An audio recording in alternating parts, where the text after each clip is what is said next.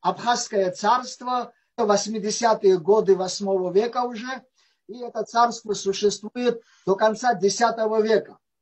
Так, кто живет в этом царстве? Ну, современные абхазы жили совместно с грузинами.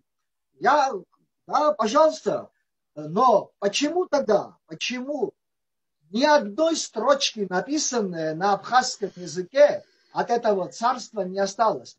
Это царство оставило ну, великую культуру, великую культуру оставило. И оно до сих пор существует. Исменная культура.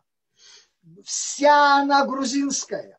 Да, абхазы жили, но это были абхазы, которые говорили на грузинском языке, которые писали на грузинском языке, молились на грузинском языке. Так говорят источники, которые остались от этого абхазского царства.